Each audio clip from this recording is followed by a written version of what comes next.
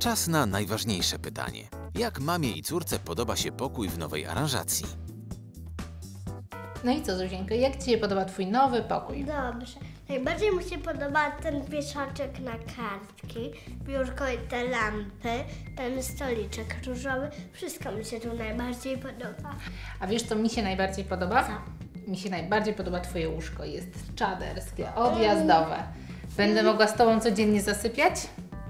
I miękkie. I miękkie, w końcu jest miękkie.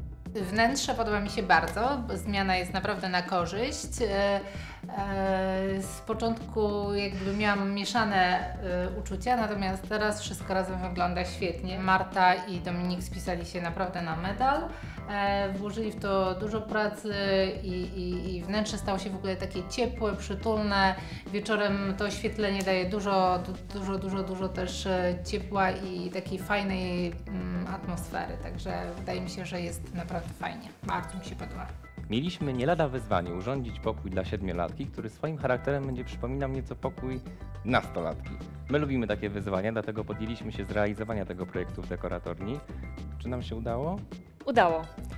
Zastosowaliśmy tutaj tapetę glamour, ale na reszcie ścian pojawił się słodki różowy kolor i jagodowy, dzięki czemu, umówmy się, no, stworzyliśmy dziecięcy glamour. Tak to umownie nazwijmy. Wybraliśmy duże, wygodne łóżko. Bardzo mi się podoba. Y, Jest w aksamitnym materiale, taki słodki kolor, bardzo, bardzo Takie, ładny. takie mięciutkie, jak taki miś przytulony. Dokładnie. Jeszcze ten baldachin z różową ozdobą, no od razu widać, że to jest łóżko małej księżniczki.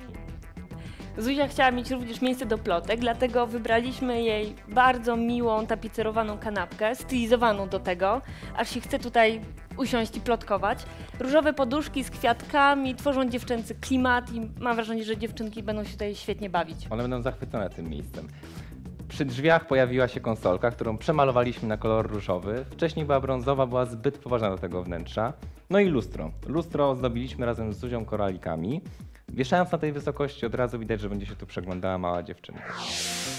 Urządziliśmy wnętrze dla siedmiolatki, które swoim charakterem przypomina nieco pokój nastolatki. Zaaranżowaliśmy go w stylu, który nazwaliśmy dziecięcym glamour. Podzieliliśmy pokój na trzy strefy: sypialnię, miejsce do nauki oraz kącik do plotek. Tapeta z barokowym wzorem pojawia się na największej ścianie.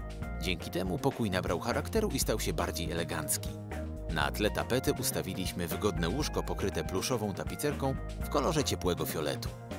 Do pomalowania ścian wybraliśmy delikatny odcień różu. Zuzia będzie odrabiała lekcje przy kolonialnym sekretarzyku, do którego dobraliśmy stylizowane krzesło w odcieniu złamanej bieli.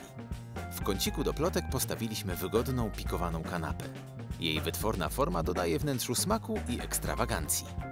Ciekawym rozwiązaniem jest mobilna zabudowa na kaloryfer.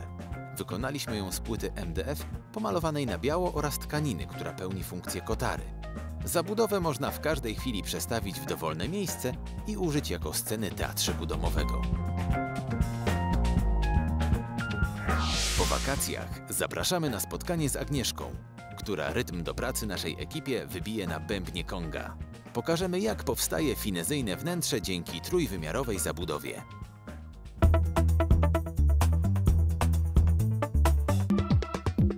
Jeśli chcesz, żeby ekipa dekoratorni zrobiła w błyskawicznym tempie metamorfozę Twojego mieszkania, wyślij zgłoszenie. Szczegóły i regulamin udziału w programie na naszej stronie w zakładce zgłoszenia.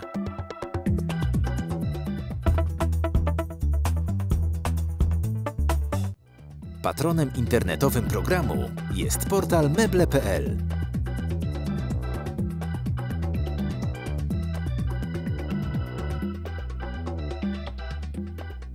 Akt pierwszy. Tadam. Cześć króliczku, jestem żabką. No za co mnie bijesz, no? Dzień bez przemocy. Dziś jest dzień bez pracy. Koniec aktu pierwszego. Królik padł.